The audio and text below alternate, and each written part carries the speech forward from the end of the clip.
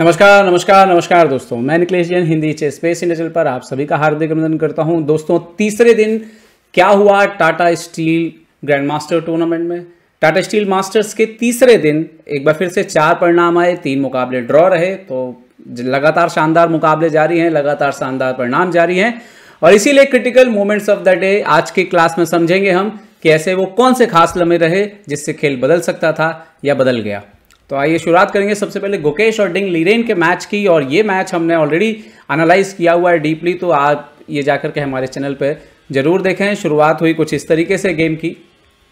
और इस इस गेम में अगर हम बात करें बेसिकली जहाँ से खेल जो बदला पूरी तरीके से, और जहाँ से गुकेश के पास एक मौका था, बढ़िया सा, अगर वो हो जाता काम तो वो थी ये पोजीशन एक्चुअली बोर्ड पर। पिछली चाल में जो है, रुक यहाँ पर गुकेश ने एक्चुअली में ई e फोर का पॉन स्पॉन सेक्रीफाइस दिया। डिंग लिरन ने इसको एक्सेप्ट किया। और क्वीन जाता है एच सेवन देखने में ऐसा लगता है कि ब्लैक को दिक्कत होनी चाहिए, लेकिन ब्लैक को दिक्कत सिर्फ़ अगली एक चाल सही सटीक होती तो होती, क्योंकि इस समय ये बिशप था बंद। और यहाँ पे, अगर यहाँ पे इन्होंने रुक डी टू खेला, अगर यहाँ पर बिशप डी थ्री खेला जाता, गुकेश यहाँ पे खेलते तो ओनली मूव थी क्वीन जी सेवन और नाइट जी सिक्स आता बिकॉज़ एफ़ सेवन था पिन और रुक फ़िलहाल ना तो इधर हट सकता है और इधर हटेगा तो बिशप एच फोर आ रहा है और इसीलिए यहाँ पे जो सही तरीका था वो कुछ इस तरीके से एक्सचेंज देना पड़ता डिंग लिरेन को और दो पॉन अप रहते, लेकिन स्ट्रक्चर थोड़ा डैमेज होता और एक्सचेंज अप होते यहाँ पर गुकेश, दो पॉन अप रहते यहाँ पर डिंग लिरेन और ये मैच इंटरेस्टिंग हो सकता था। लेकिन रुक डी टू खेलने की वजह से धीरे धीरे पूरी पोजीशन न्यूट्रलाइज हो गई। और आ, कोई भी मौका जो है वो नहीं मिला फिर गुकेश को इस मैच को जीतने का। इस मैच का एनालिसिस हमने किया हुआ है तो उसको डिटेल में जाकर के आप देख लीजिएगा पूरा गेम उसके बाद बात करें आ, अगर हम बात करते हैं दूसरे आ, गेम की जो था प्रज्ञानंदा वर्सेस वे ई इसमें क्या हुआ ये भी बहुत इंपॉर्टेंट था। इस पोजीशन में अगर मैं कहूँ तो ओपनिंग में ही एक मौका यहाँ पे था जब क्वीन सी एट खेला गया वे ई के द्वारा खेल की बारहवीं चाल में। यहाँ पर नेक्स्ट जो मूव था, वो नाइट डी फोर आ रहा था। और यहाँ पर आप देखिए कि एफ़ फाइव पॉन तो ऑलरेडी वाइट ने ऑलरेडी दिया हुआ है कि आप जब चाहे तब मार लीजिए। वो आप सेक्रीफाइस जो है, वो कर रहे हो क्योंकि आपके पास डबल बिशप आने वाले हैं। इस पोजीशन में प्रज्ञानंदा थोड़ा धीमा खेल गया उन्होंने जी थ्री खेला तो हुआ ये कि नाइट डी फोर पहले आ गया। ऐसे में आपको क्वीन डी थ्री रखना पड़ा। And then queen F five के बाद क्वीन एक्सचेंज हो गया। और इसके बाद पूरे गेम में कहीं ऐसा मौका नहीं मिला जहाँ से जो है ये मैच को वो किया जा, बचाया जा सके। लगातार मोहरों की एक्सचेंज होते रहे, बल्कि प्रज्ञानंदा के पास थोड़ा सा वो कोशिश करते रहे, लेकिन इवन जो पोजीशन आई, कई बार चेंज हुई एक्सचेंज हुए, उसके बाद भी वो पॉइंट डाउन थे, फिर opposite colour bishop end game आ गया। और लास्ट की पोजीशन कुछ यूँ थी जहाँ पे मैच ड्रॉ हुआ, जहाँ पे दोनों खिलाड़ियों के पास एक एक रुक एक एक पॉन था। तो क्या बदल सकता था? एक्चुअली उस पोजीशन में क्या खेलना चाहिए था प्रज्ञानंदा को? अगर वो खेलते तो क्या गेम बदलता? जी हाँ जी थ्री की जगह अगर बिशप ई थ्री खेला गया होता और नाइट डी फोर को ना आने दिया होता क्वीन एफ़ फाइव ऐसे भी आता जी थ्री आप तब भी खेलते। और अगर अपोनेंट इवन लड़ने की कोशिश करेगा, आप हट सकते हो knight e four knight e four queen e four bishop h three इसमें ज़्यादा मौका था वाइट के लिए कंपनसेशन ज़्यादा अच्छा था डबल बिशप क्वीन भी बोर्ड पर और अटैक के चांसेस ज़्यादा अच्छे रहते। तो ये critical moment of the day मेरे हिसाब से प्रज्ञानंदा के गेम में था। बिशप ई ना खेलना, उसके बजाय डायरेक्ट जी थ्री खेलना, जिसकी वजह से गेम जो है, वो तुरंत ही जो है, वो एंड गेम में पहुँच गया अगली कुछ चालों में। मतलब क्वीन लेस मिडिल गेम भी आप इसको कह सकते हो, जहाँ पर बहुत ज़्यादा मौके उसके बाद बने नहीं। ओके तो ये था प्रज्ञानंदा वर्सेस वे ई का मुकाबला। इसके बाद जो नेक्स्ट गेम था परहम मकसूदलू वर्सेस अब्दुल सतरो भाई साहब इस पर तो अलग से एक वीडियो बनाना बनता है और मैं पूरी कोशिश करूँगा कि इस पर अलग से एक वीडियो बनाऊँ।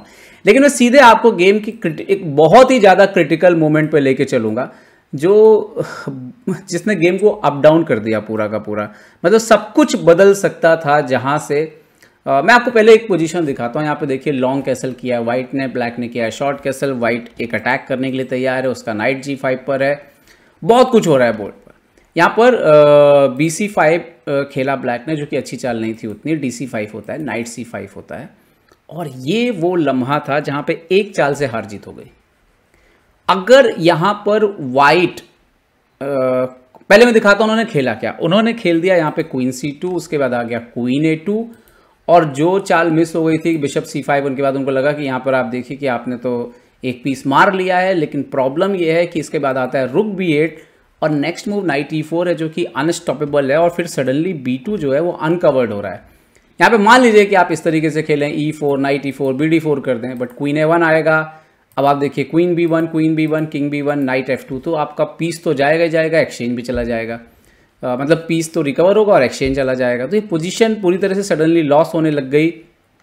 After rook b eight knight e four most probably जो है यहाँ पे मिस हुआ है। अगर उस पोजीशन पे जहाँ पे उन्होंने क्वीन सी टू खेला, परहम ने, अगर परहम ने क्वीन ए थ्री खेल दिया होता तो अब्दुल सत्तर और नोदिर बेग जो है, ये मैच नहीं बचा पाते, क्योंकि नाइट यहाँ पे एक्चुअली जो चीज़ शायद उनसे मिस हुई हो, यहाँ पे अगर वो नाइट हटाएँगे, मान लीजिए नाइट को कहीं पे भी वो हटा लेते हैं, यहाँ पे मान लीजिए कि वो नाइट को ए सिक्स ले जाते हैं for example so after e four जो है एक्चुअली में, ये जो क्वीन है, वो क्वीन ही पूरा का पूरा ट्रैप हो रहा है। और ये शायद मिस हुआ। देखिए क्वीन कहीं पे भी नहीं जा पा रहा है। कोई भी स्क्वायर क्वीन के लिए अवेलेबल ही नहीं है। और, ये क्वीन ट्रैप हो रहा था।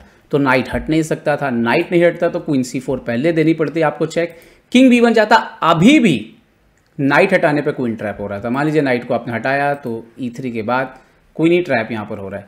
तो ये प्रॉब्लम था। अगर क्वीन सी टू की जगह क्वीन ए थ्री खेल दिया गया होता तो ये मैच कुछ शायद बहुत जल्दी जो है रिजाइन कर दिया गया होता अब्दुल सत्तरों के द्वारा और परहम मकसूदलू ये मैच जीत चुके होते। ठीक, ये मैच जीता आखिरी में अब्दुल सत्तार रोव ने। तो इसके बाद आती है जू वेंजुन और वॉन फॉरेस्ट के मैच की बारी। जू वेंजुन इंटरेस्टिंग चेस खेला उन्होंने। उन्होंने आज एक क्रिटिकल मोमेंट जो उनके बोर्ड का हम कहें, उन्होंने मतलब काफ़ी पॉजिटिव चेस खेला है। और एक मोमेंट आया बोर्ड पर जब ये पोजीशन थी यहाँ पर आपके पास दो ऑप्शन थे कि आप या तो बिशप सेक्रीफाइस कर दीजिए या नाइट सेक्रीफाइस कर दीजिए। सही चाल थी बिशप सेक्रीफाइस कर दीजिए। Bishop c b five knight d five आता। उसके बाद अगर आप बिशप को आप बचाने जाते हैं, कहीं रखते हैं तो bishop d eight rook d eight knight c seven rook k seven knight b five और एक्चुअली में वाइट के लिए विनिंग पोजीशन है। क्योंकि ये पोजीशन पूरी तरह से फंसी हुई है पीसेस आपके अच्छे खेल नहीं रहे हैं, और पॉन बहुत ज़्यादा हैं यहाँ पर। वाइट के पास आप देखिए, तीन पॉन एक्स्ट्रा हैं, और कोई समस्या नहीं है। तो ये बात जम सकती थी, लेकिन उन्होंने मारा नाइट डी फाइव। उसके बाद बी डी फाइव और बिशप बी फाइव के बाद जो पोजीशन आया, a b four, a b four rook e six rook d five भी आया बट नाइट एफ़ एट और धीरे धीरे जो है वाइट का पोजीशन ब्लैक का पोजीशन संभल गया यहाँ पे। एक और दूसरा मौका आया उनके पास, जहाँ पर वो शायद कुछ, जैसे यहाँ पे जब बिशप पर अटैक हुआ तो सही चाल थी, बिशप ई सेवन जाते तो भी ब्लैक स्लाइड बेटर रहता, लेकिन गेम बचता। बिशप अगर गेम के इस हिस्से में रहता लेकिन चूँकि वो चली गई बिशप एच सिक्स तो ये जी फाइव का एक और थ्रेड क्रिएट हो गया, यहाँ पे आप देख सकते हो रुक की मौजूदगी की वजह से। और इसके बाद उन्होंने एफ़ फाइव किया बट इसके बाद लगातार जो है ब्लैक बेटर होता चला गया और पूरी तरह से कंट्रोल आ गया गेम में। जो भी समस्याएँ थी वो धीरे धीरे सॉल्व होती चली गई, बल्कि एक्सचेंज देना पड़ा वापस। और even end the end position तो ऐसी आई कि यहाँ पे मेट ही उनसे मिस हो गया, क्योंकि उन्होंने सी फाइव खेल दिया और रुके वन के बाद रिजाइन कर दिया, क्योंकि ये तो मेट लगी थी। तो वो मोमेंट बहुत क्रिटिकल था कि अगर वो बिशप बी फाइव मारती instead of knight d five और बोर्ड पे जो है, अगर वो यहाँ पे bishop b five c b five knight d five ऐसे खेलती तो बात अलग हो सकती थी। तो ये था मेरे हिसाब से जू वेंजुन और वॉन फॉरेस्ट के मैच का क्रिटिकल मोमेंट इसके बाद बात करेंगे डोनचेंको अलेक्जेंडर अनिश गिरी का मैच ये मैच भी बड़ा एक इंटरेस्टिंग मैच था। अनिश गिरी इसमें ब्लैक पीसेस से खेल रहे थे। और काफ़ी उन्होंने कोशिश करी। ये शायद यहाँ पे एक आध लम्हा आता है बोर्ड पर। जब ऐसा लग रहा था कि बोर्ड में पोजीशन लगभग बराबर रह सकती है और इन्होंने यहाँ पे बी थ्री किया और रुक डी सेवन वगैरह आया। बट तो इसमें अगर हम बात करें तो ये क्वीन डी फोर का एक मौका था जहाँ पे पोजीशन ज़्यादा बेटर होती। आ, और और सबसे मेन जो इसमें मुझे लम्हा लगता है वो है शायद यहाँ पे। हाँ ये वो मोमेंट है मुझे ख्याल से। सबसे क्रिटिकल मोमेंट अलेक्जेंडर डोनचेंको और अनिस गिरी के मैच का। यहाँ पे था वाइट का मूव और वाइट को खेलना चाहिए था। यहाँ पे किंग एच टू, एक वेटिंग मूव उनको खेलना है।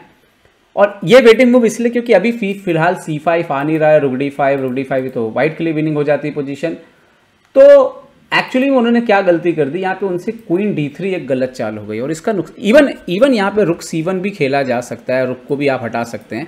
क्योंकि यहाँ पे एक थ्रेड क्रिएट हो रहा था सी फाइव का। और जैसे ही उन्होंने क्वीन डी थ्री खेला और इस रुक के ऊपर से सपोर्ट गया, तुरंत यहाँ पे सी फाइव का मूव आ गया और जिसके बाद not not here not here यहाँ पे सी फाइव का मूव आ गया। और इसके बाद आप देखिए कि आप रुक डी फाइव नहीं मार सकते हैं क्योंकि रुक डी फाइव आएगा, आप क्वीन डी फाइव मारेंगे तो क्वीन डी फाइव आ जाएगा। और आपको अगर आप ई डी फाइव मारते हैं तो आपका रुक मर रहा है। तो एक्सचेंज आप डाउन रहेंगे उस पोजीशन पे। और ये क्रिटिकल मोमेंट था जब इन्होंने रुक क्वीन यहाँ पे डी थ्री खेल दिया और इवन से आपका सपोर्ट जो है वो हट गया। और अगर किंग एक्स टू खेलते तो ये गेम जो है वो लगातार चलता। यहाँ पे कोई ऐसी समस्या नहीं थी करीब करीब बराबर का गेम बचा हुआ था। तो अगर बात करें विदित गुजराती और नेपोमिंसी के मैच की तो यहाँ पर एक लम्हा आया था। वैसे तो खेल शुरुआत से इक्वल इक्वल ही चल रहा था, लेकिन एंड गेम में ये एक मौका था। मतलब इसमें, इस गेम में कुछ भी क्रिटिकल मोमेंट ढूंढना थोड़ा मुश्किल था। बट ये एक मोमेंट था जहाँ पर ब्लैक का मूव था यहाँ पर, और नेपोमिंसी यहाँ पर उन्होंने किंग ई एट खेला, और क्वीन डी फाइव और नाइट डी फाइव के बाद ये गेम बराबर हो गया और बाद में ये ड्रॉ हुआ। बट अगर यहाँ पर वो किंग ई सिक्स खेलते और थोड़ा दबाव बनाते एक्सचेंज करने के लिए विदित के ऊपर तो ये इंटरेस्टिंग हो सकता था। जैसे मान लीजिए विदित किंग ई टू खेलें तो यहाँ पर knight f five knight c two जाएँ, मान लीजिए।